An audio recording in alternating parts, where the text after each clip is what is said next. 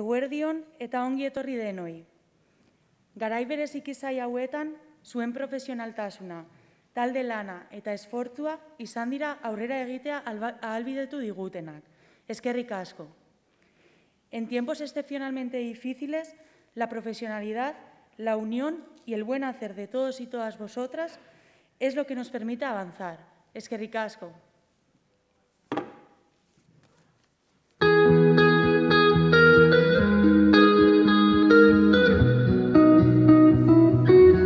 Bi mila eta hogeiko martxoan bizitza aldatu zen.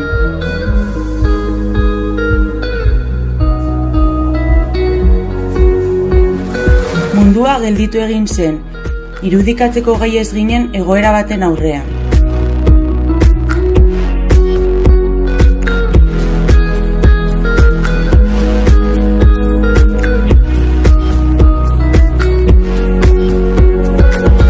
Gure bizitza pertsonala eta familiakoa irauli ziren, baina zalantzari gabe aldaketa hori askoz gogorragoa izan zen gure eguneroko lanean.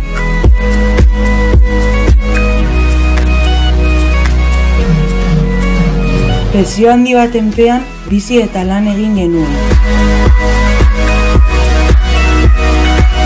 Zaindu, lagundu, agurtu, negar egin, sufritu egin genuen, beldur izan ginen, segurtasuneza eta ezintasuna sentitu genituen.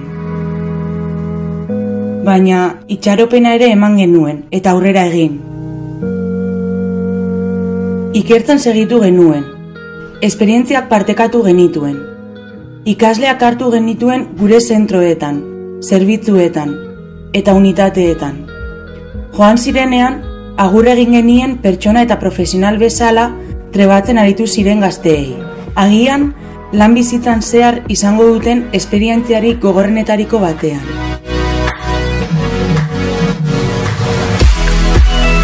Baina, batez ere, argi geratu zitzaigun guztion aleginak, gure profesionaltasunak, guztiok ezinbesteko gaituen taldearekiko konfiantza.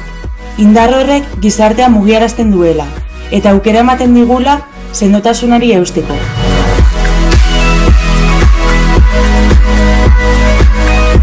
Eta une zaietan irribarrea oparitzeko.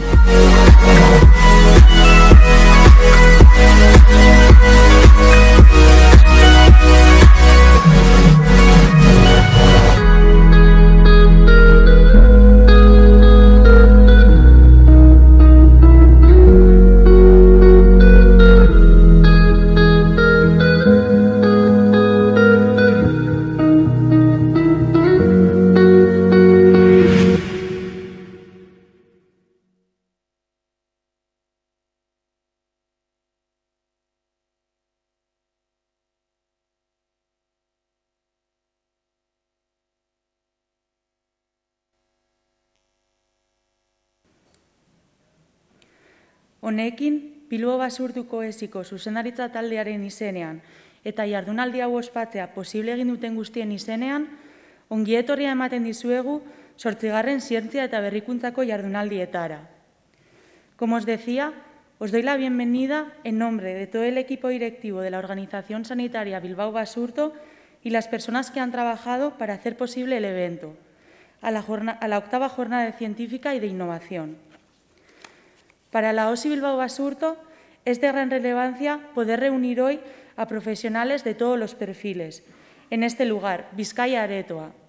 Guretzat, erreferentzia zentru bihurtu da, bere irekieraz gerostik, hainbat alditan gure bilkura puntu izan delarik. Este año sabemos que es especial y en el ánimo de todas y todos está la agradable sensación casi extraña de poder volver a reunirnos de manera presencial. Hala ere, jakitun gara ardura handienaz jokatu behar dugula. Prebentzio neurriak errespetatuz. Gogorazten dizuegu mesedez, ezinbestekoa dela distantziak mantendu eta un euro musuka jantzita izatea. Recordamos a los asistentes que es muy importante guardar las distancias de seguridad y, por supuesto, mantener la mascarilla durante todo el acto. La OSI Bilbao Basurto cuenta con una amplia y dilatada trayectoria como entidad investigadora, y siempre se ha distinguido por su apuesta decidida por la innovación y el trabajo en equipo, como motor de avance. Horregatik, gaurko honetan, eskerrona eman eta omenaldi txiki bat egin nahi diegu bai ikerketan, eta, eta baita ezagutzaren difusioan erreferente izan zareten profesional guztiei. Decía que nos gustaría agradecer y reconocer el trabajo de aquellas personas referentes en la implantación de nuevas y variadas fórmulas que nos ayudan a dar un servicio a la población y nos ayudan a crecer como sociedad. También sabemos que para que esto sea posible es necesario tener el respaldo de un equipo sólido, comprometido y compacto. Honen bestez, eskerrak eman nahi dizkiegu egunerokotasunean etorkizunarekin konpromesua duen erakunde sendo bat izaten laguntzen diguzuen guztioi. Con este objetivo y con un lema tan motivador como nuevos retos, nuevas ilusiones, damos comienzo al acto de hoy. Erronka berriak, ilusio berriak lemapean, Jesus Larrañaga, Bilbo Basurtuko erakunde sanitarioko zuzendari gerenteak hartuko dubitza jardunaldiari hasiera emateko.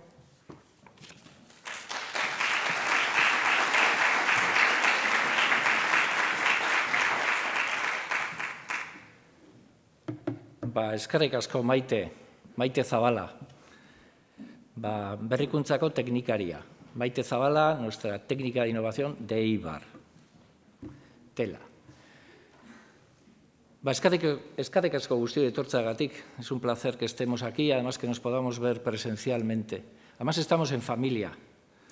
Hay mucha gente conocida y otra que habéis venido de otras organizaciones, así que benetan eskerrik asko guzti. Los cuidados, la investigación, la atención médica, la docencia, la innovación, son algo más que una tarea, un trabajo, tienen algo más en ese comportamiento profesional, tienen algo de arte. Y es así.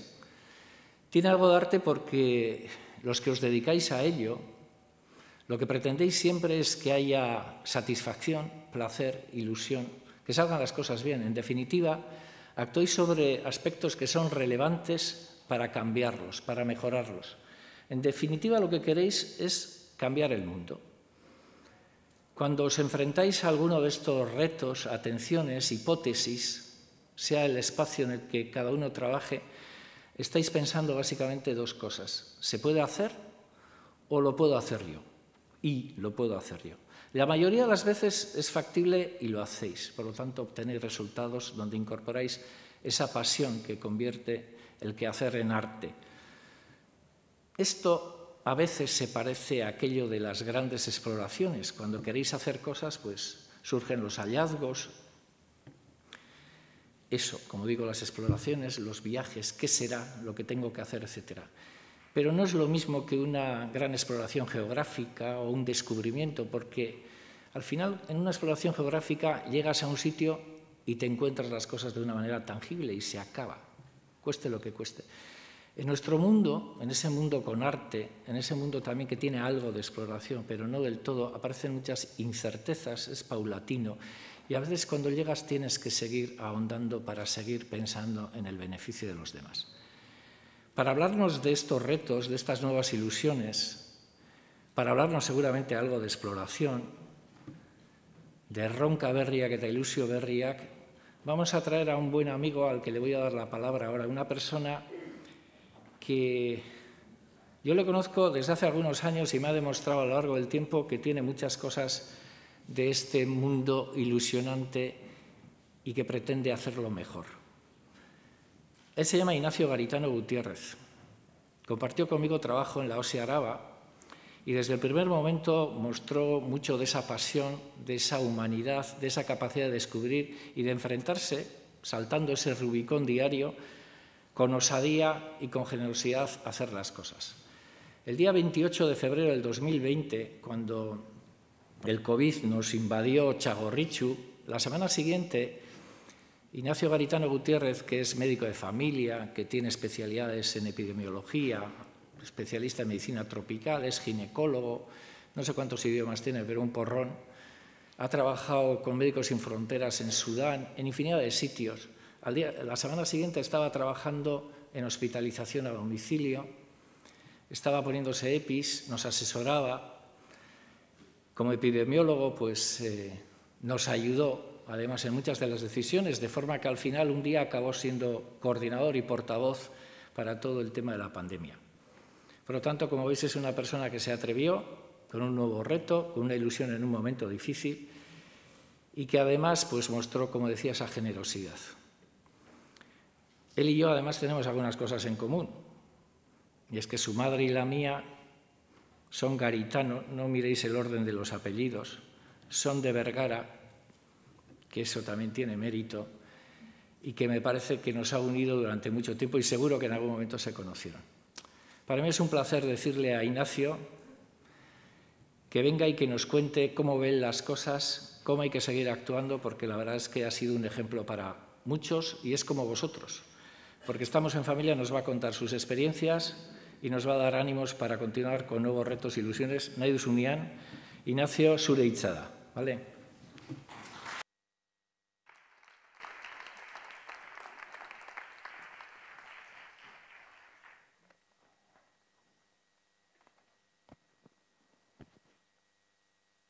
Eskerrik. Eta ba, ba, handi bat da hemen, hemen egotea.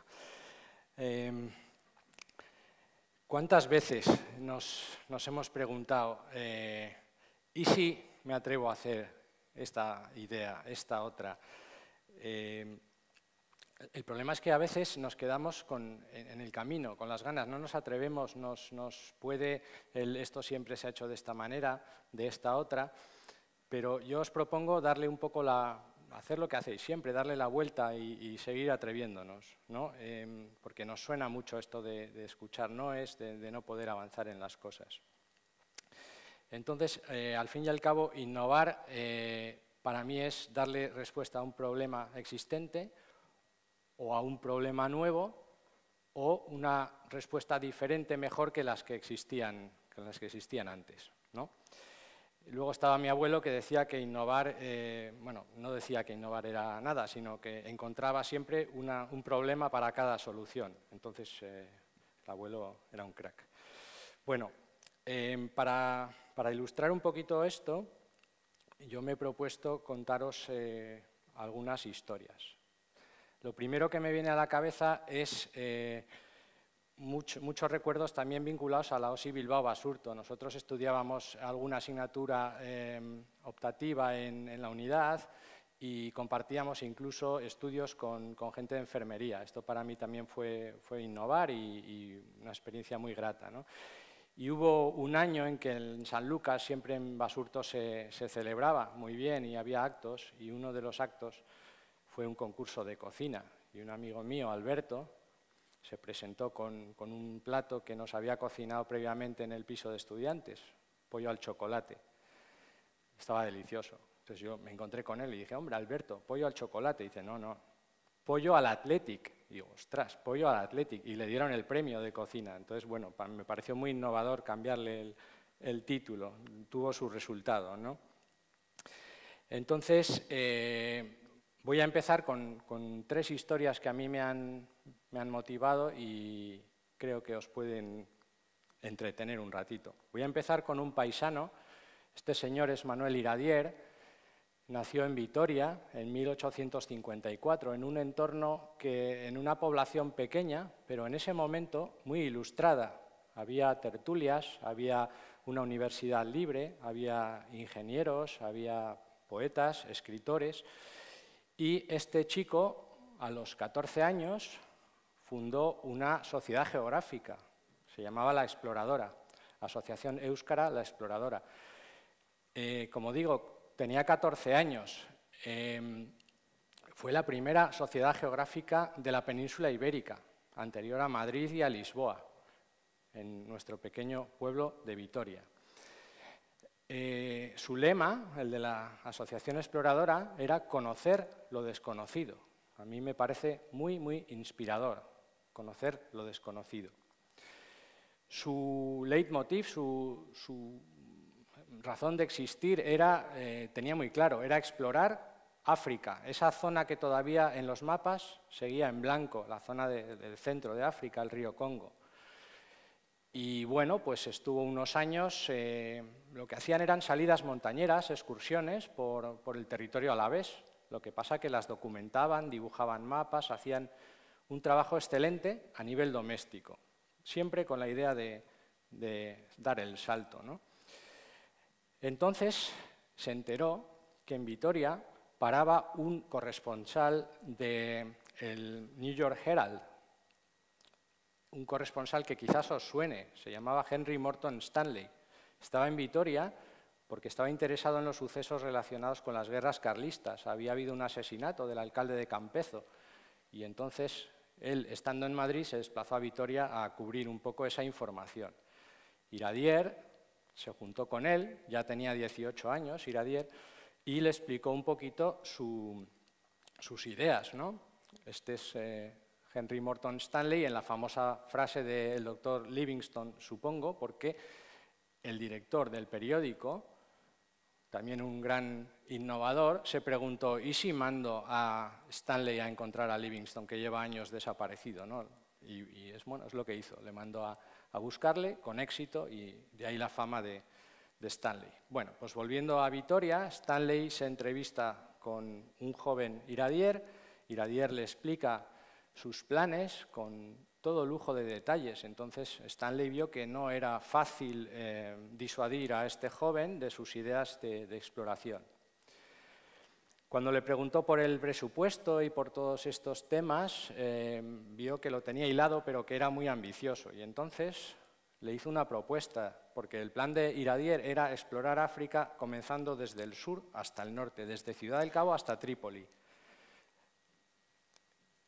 Eh, Stanley le dijo que era bastante buen plan, pero le sugirió, ¿y si no comienzas por el oeste? En el mapa serían los territorios que, conocidos como Guinea Ecuatorial. ¿no? Eh, y es lo, que, es lo que le propuso. Eh, sobre todo porque no tenía grandes medios. Y bueno, es lo que hizo Iradier. Al final se lanzó a, explorar, salió de Vitoria con su mujer Isabel de Urquiola y con su cuñada, todos tendrían entre 20 y 22 años, y, bueno, el resto es un poco ya historia, ¿no? Se metió por el río Muni, exploró, hizo tratados con los jefes locales y, bueno, pues hoy en día todavía se habla, se habla español en aquella zona gracias a, Iradier. Eh, también hay, una obra preciosa que se llama África, dos, tomos eh, en los que Iradier plasma unos estudios impresionantes a nivel antropológico. Estudia los idiomas que se hablan en Guinea Ecuatorial, los peinados, las etnias, eh, un, montón de cosas. ¿no? Es una cosa muy, muy bonita, esa os recomiendo si podéis leerla. la Asociación Exploradora eh, a día de hoy existe. Se refundó en 2017 y si me permitís me gustaría presentaros a su presidente, presidente de la Asociación Exploradora.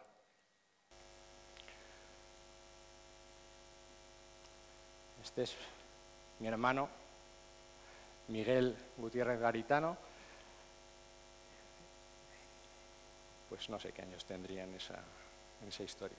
Bueno, Miguel es un, es un apasionado, eh, tiene el espíritu innovador de un niño todavía, a pesar de que tiene más de 40 años. Eh, ha sido siempre un gran lector, un admirador de las grandes hazañas, de los duelos de la historia, un romántico, siempre buscando aventuras. Una vez, recuerdo cuando éramos chavales, vino a casa diciendo que iba a desarticular una banda de, pues, de delincuentes, que les había seguido hasta el Parque de la Florida, en Vitoria, que les había visto meterse dentro de unos arbustos, todo hombres, unos movimientos muy extraños y que estuvo a punto de desarticular la banda. Bueno, eh, Miguel, nos alegramos de que sigas vivo porque casi te metes en un lío, pero bueno, era un chaval y no, entendía todavía de qué va la historia. Eh, Miguel siempre ha leído mucho, sus aventuras empiezan en la biblioteca. Planifica, lee las fuentes antiguas, eh, se hace preguntas. Eh, ¿Y si quedan ciudades sin descubrir? Eh, ¿Y si esas ciudades son todavía encontrables, visibles, localizables? Reúne todo ese material minuciosamente estudiado. Consulta un medio que tenemos todos en nuestro ordenador, el Google Earth, todos los visores satélite que os imaginéis, y va buscando, buscando cosas. ¿no? Entonces, eh, os quiero enseñar pues, pues, eh, aventuras que, han terminado bien. ¿no? Eh, Miguel buscaba en Perú una ciudad perdida que, según las crónicas, resistió 70 años a la conquista española y cinco viajes a Perú para, al final, encontrar en altura, a más de 4.000 metros, un, templo en el cual es, muy probable que se hayan realizado sacrificios humanos, porque son templos que siempre tenían la misma estructura. Esto está consultado con gente de las universidades que más sabe del mundo de las culturas incas y eh, son edificios exactamente iguales. A día de hoy esto pues, está notificado a los gobiernos locales, pero sigue ahí sin, excavarse y sin, sin aparecer nada, nada nuevo. ¿no? Es una historia bonita cuyo final, al final eh, mm, pudo hacerse famoso, pero vino alguien y, le robó la imagen al pobre Miguel. Eh, Tadeo salió un año después de las exploraciones de Miguel, pero bueno, le ha, hecho sombra. La siguiente aventura eh, tiene que ver con Alejandro Magno. Alejandro Magno fundó un montón, creo que más de 20 ciudades en su periplo asiático, y no todas han aparecido. Entonces Miguel se pregunta si puede encontrar alguna de esas ciudades y reproduce el método que os he explicado. Estudiar, leer las fuentes, eh, un, explorador italiano, otro inglés, todo lo que está disponible. Y luego el método del satélite. En el método del satélite os quiero enseñar una tumba en la parte de la izquierda, que es una tumba conocida, excavada, consiste en un túmulo que no es otra cosa que un acúmulo de tierra eh, realizado de manera artificial con una cámara interior en el centro a la que se suele acceder pues, desde un lateral. Aquí no veo bien la entrada, podría ser por aquí, un túnel que lleva a la cámara central. Bueno, pues él buscando donde creía que podía estar, por las descripciones, una tumba macedonia, que esta estará seguramente en territorio griego, pues él la buscó en Pakistán y encontró esto en el satélite. 130 metros, encajaba con la forma y entonces, pues justo en una ventana COVID en la que se pudo viajar, hizo un viaje de una semana a mm, Pakistán, alquiló un coche y buscó un poco esa zona. Entonces, ¿qué es lo que encontró? Bueno, pues encontró un, túmulo, esa, esa, elevación artificial con, en la que se veían bastantes restos arqueológicos, para que veáis el tamaño de la, altura de esto en su día estuvo recubierto de una muralla que se ha deshecho por los edificios que se han construido después y, es un poco lo que, lo que ha comunicado también pues, a las autoridades locales y, bueno, el problema es que a día de hoy no se puede excavar allí y pues la respuesta de si eso no es una de las ciudades de Alejandro eh, tardará en llegar encontró dos túmulos en, los lugares donde estaban descritos por las fuentes, Gucci Goravera, que había dos ciudades de Alejandro, Alejandría Bucéfala y Alejandría Niquea. Alejandría Bucéfala sería en honor al caballo de Alejandro, que murió, no se sabe bien si en una batalla o de viejo, pero murió esos días y allí fundó una ciudad. Y a unos, a unos pocos kilómetros, enfrente, al otro lado del río, hoy en día se llama el río Gelum, fundó otra tras la victoria de la batalla de Ispades. En esa victoria, victoria en griego se dice Nike y entonces le llamó Alejandría Nikea. Eh, una de las, cosas, de las razones por las que no se descubrió antes o no se, ha descubierto hasta, hasta ahora esta, esta, localización es que el río no tiene el mismo curso dos mil años después, se ha desplazado unos kilómetros. Miguel esto lo tuvo en cuenta. Y llegamos a la tercera historia, en la cual ya pues, hablo un poco más de mi experiencia personal. Eh, como ha dicho Jesús, eh, yo me pregunté enseguida, dije, ¿y si no es el primer caso, el del 28 de febrero? ¿Y si hay cientos de personas afectadas eh, por la calle? Era, un, era, un, contexto complicado, Vitoria recibía dos vuelos semanales de, de Bérgamo con la compañía de Ryanair todavía se celebraban pues algún evento, había manifestaciones, había eventos deportivos todavía, y era un momento complicado. El primer eh, evento que se suspendió en Vitoria eh, fue un curso de psiquiatría que organiza mi padre con otras personas y recuerdo que le sentó muy mal, pero yo creo que fue un acierto suspenderlo.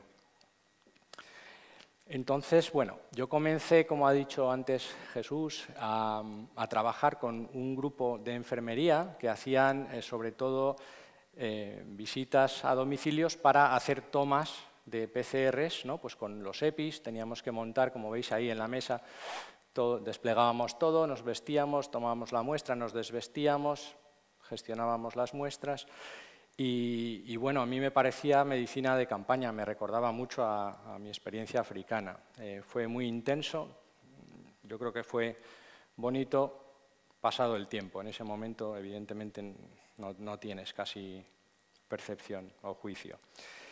Caí, enfermo, tuve fiebre, estuve 10 días con fiebre alta, nunca salió positiva la PCR, quizás porque me la tomaba yo mismo y no lo hice bien. Em, y, esa pregunta que me, que corroía, ¿no? ¿cuánta gente hay enferma?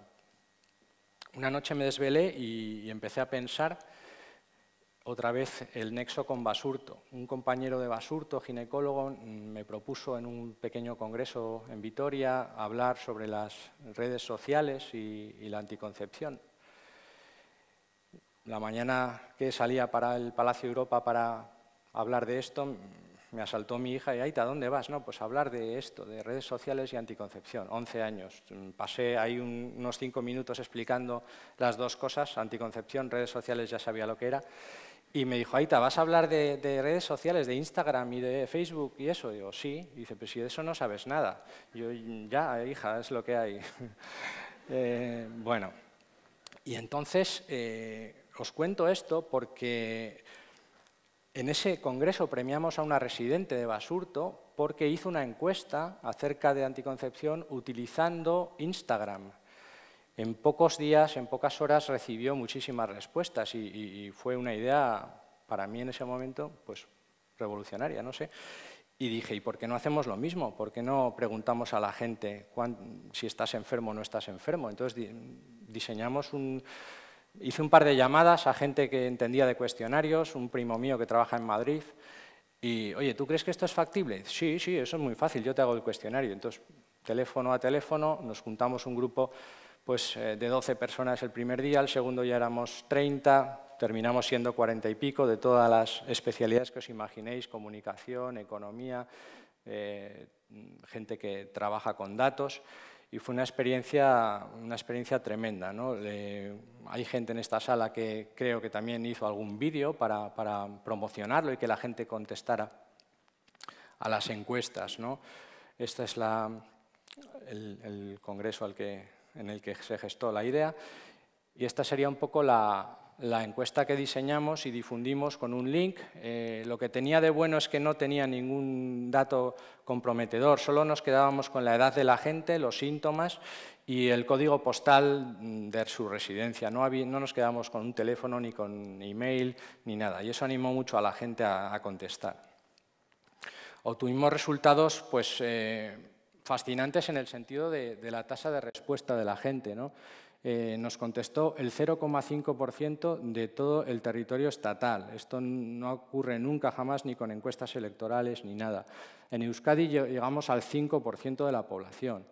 Y, bueno, pues nos dio ideas de, cuánta gente sintomática había por, por código postal y cosas así. Los datos siempre fueron abiertos, eh, hubo siempre un link, nos comunicamos con las autoridades sanitarias, locales, regionales, estatales y europeas. Em, tuvo su, momento, eh, arrojó información, hubo un cuadro de mandos y luego ya la, disponibilidad y los protocolos ya eh, nos, nos, dieron la posibilidad en Euskadi, además muy rápido, de realizar PCRs a la gente que, que, sospechábamos que podían tener COVID. ¿no? Entonces, bueno, eh, lo siguiente fue una llamada de teléfono del, departamento, yo creo que algunos ya me habréis visto en algún momento, y, de, ese, de, ese, momento recuerdo eh, lo que todos vosotros habéis vivido, que en cada estamento que me ha tocado trabajar en, esta pandemia, la gente se ha dejado a mi alrededor eh, la piel, ha trabajado muchas más horas de las que eh, vienen en nuestros convenios y, me llevo eso, ¿no? me llevo el, trabajo, el, tesón y, la valentía de, toda la gente. Y no sé si os acordáis de una, una serie Canción Triste de Hill Street, que a mí me encantaba, no sé si entendía nada, era muy niño, pero me encantaba. Y este señor, pues siempre despedía después del meeting matinal, la primera hora, a todo el mundo diciendo tengan cuidado ahí fuera. Me encantaba ese lema. Lo que pasa que me gusta más el de la exploradora, el de conocer lo desconocido. Y esto ha sido todo. Es que ricasco.